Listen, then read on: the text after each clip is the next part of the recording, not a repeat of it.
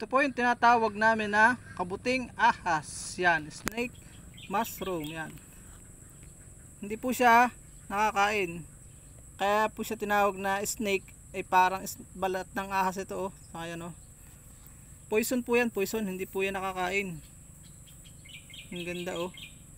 Medyo lipas na eh. Pero kung mas bagay, bas, ano yun, bagong bukad, mas maganda po yan oh.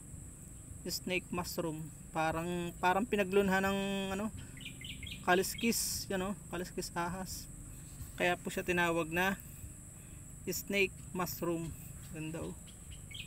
Parang net. Yung iba may basta may ring dito, poison din po 'yun. Pero ito kilala siya sa kabuting ahas. Ang kabuting ahas, baw.